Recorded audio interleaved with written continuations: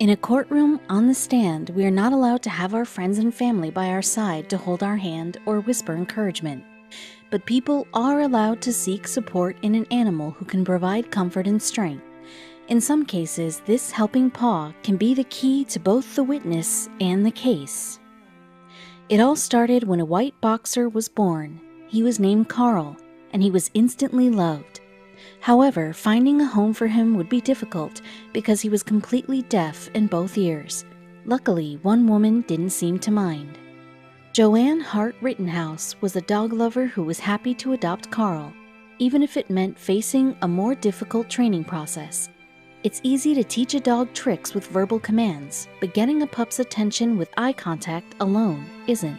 Before adopting Carl, Joanne already had three boxers, all of which became therapy dogs. Once Joanne and Carl had established some sign language commands, the pooch proved to be incredibly sympathetic and well behaved. Impressively, Carl learned over 100 signs. The only problem was that while Joanne knew exactly how to communicate with him in detail, most people couldn't. If Carl was going to work with people who needed him, they would need to learn some signs. Except Carl would not grow up to be a regular support dog he would become a therapy dog who calmed and encouraged children who had to testify in court. His disability would actually play to his advantage.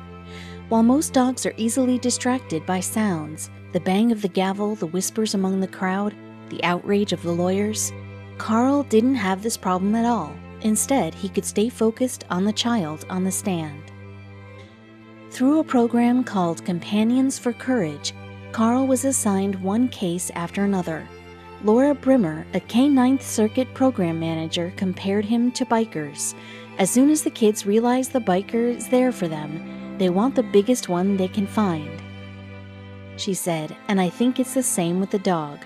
Even though Carl's size could be comforting to some, a big dog could still seem intimidating to kids, which is why he was usually seen donning a blue cap but Carl showed off more than just his fashion sense.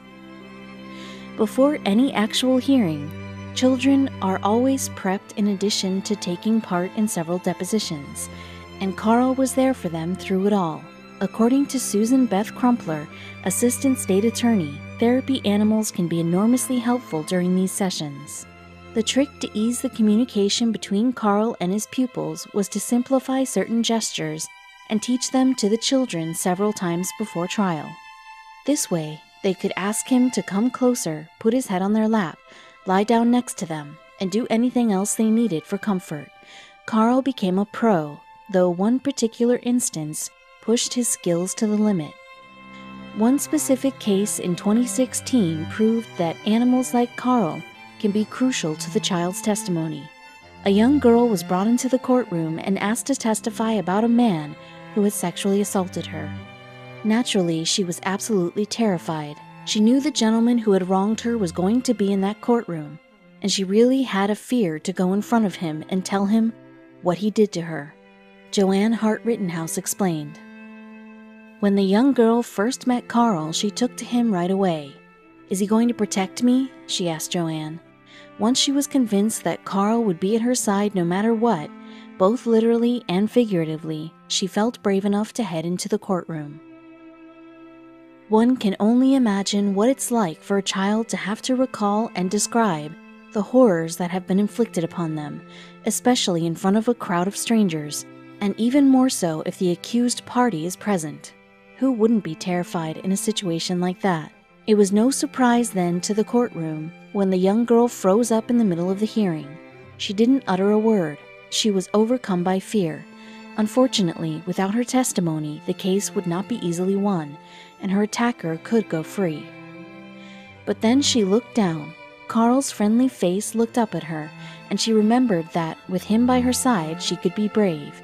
She signed for him to come closer, and he laid underneath her seat. Although she couldn't reach all the way down to pet him, she still needed to feel him there. So she did something surprising. She kicked off her shoes and gently ran her feet through his fur, petting him and assuring herself of his comforting presence. At last, she could answer all the questions and describe the events that had led to them being in that courtroom. With Carl's help, the little girl bravely got a sick man off the streets. Aside from court cases, Carl has made appearances in libraries and hospitals. Will be there as long as the child wants Carl to stay in their light. He's helped a lot of children, said Joanne, who couldn't be prouder. He has become so popular that he's got his own coloring book. He's shined a light on other dog heroes too.